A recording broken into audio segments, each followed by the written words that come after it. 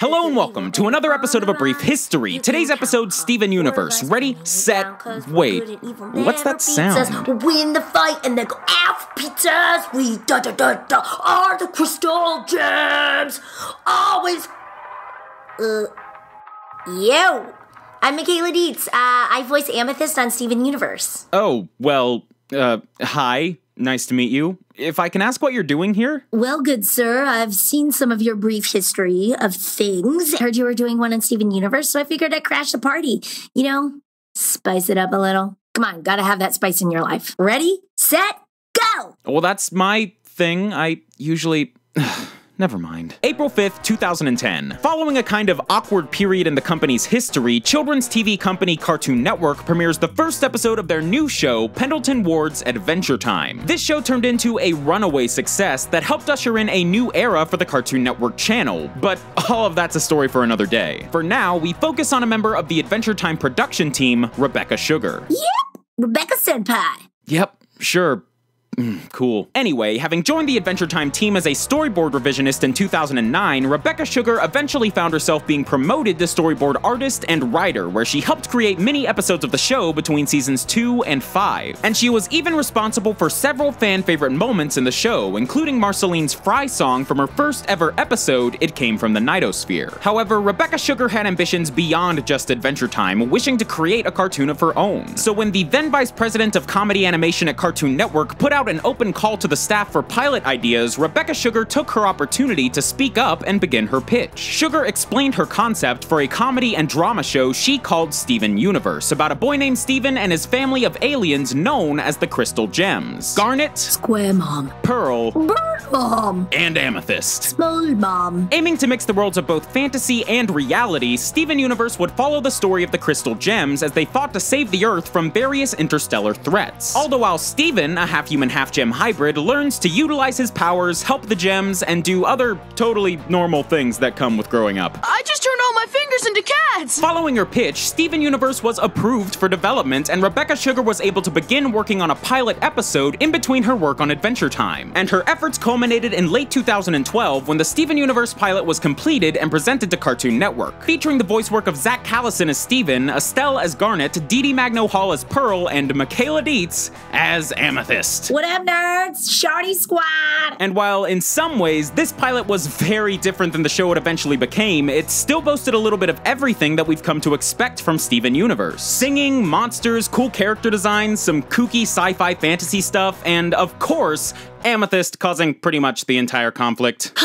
You destroy one underwater sea shrine and suddenly you're a liability? Not cool, man. Besides, Amethyst doesn't always cause conflict, it's usually Steven. Cartoon Network liked Rebecca Sugar's pilot, greenlighting Steven Universe for full production and marking Rebecca Sugar's departure from working full-time on Adventure Time full-time. Time. Adventure Time full.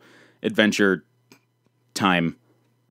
so Steven Universe was now on the road to its first ever broadcast. And in order to help market and build hype for the show, Cartoon Network uploaded the full pilot episode online on May 21st, 2013, and even exhibited it at that year's San Diego Comic-Con. And considering the popularity of her work on Adventure Time, I think it's safe to say that many were interested to see what Rebecca Sugar and her crew had cooking. So on November 4th, 2013, Cartoon Network officially premiered Steven Universe, but only after giving the show quite the extensive makeover. Mm-hmm. Garnet's hair grew, Amethyst stitched her fanny pack, and Pearl got biker shorts. The show premiered with two episodes of what was slated to be its first 26 episode season. Well, I say 26, but only 10 days after the show premiered, the network actually added an extra 26 episodes, meaning that this one season of a brand new show ran for 52 freaking episodes between November of 2013 and March of 2015. I mean, yeah, each episode was only about 11 minutes long, but that's still a lot of faith to put into season one of a brand new original series. Adventure Time's first season only had half that many episodes, but luckily, Steven Universe absolutely delivered. Within just its first few episodes, it offered bright and colorful art, catchy original music, lighthearted humor, surprisingly effective drama, and even a good bit of intrigue. From the very beginning, the show had a deep lore running through it that was only expanding with each episode, drawing in a wealth of curious viewers who were dying to learn more about this new world that they were being given. And all of this combined made Steven Universe Cartoon Network's newest smash hit. In fact, the show was such a success that Cartoon Network didn't really even wait before jumping into its next season. The show was renewed for a season 2 by July 25th, 2014, and that second season began literally the day after the season 1 finale premiered. And from this point forward, Steven Universe only grew and grew and grew. Today, in 2017, the show was in the middle of its fifth season and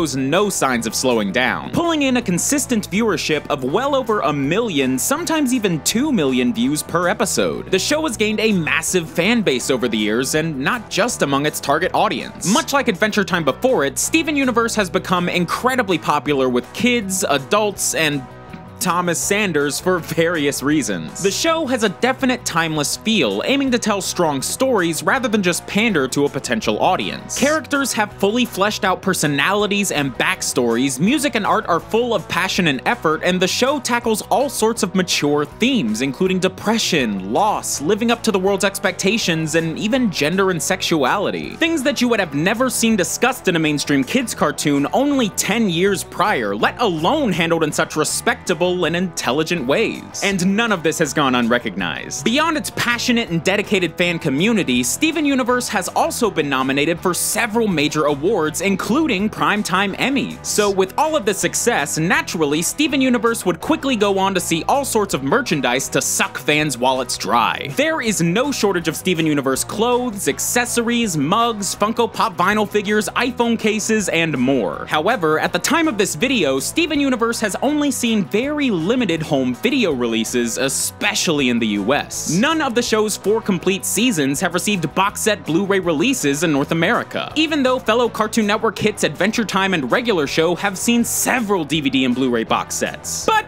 that's okay, we have Steven Universe Monopoly instead, and that's a big deal. They don't just give those to everyone, you know, you gotta be something really important to get your own Monopoly game. Things like Pokemon, M and M's, and Raisins.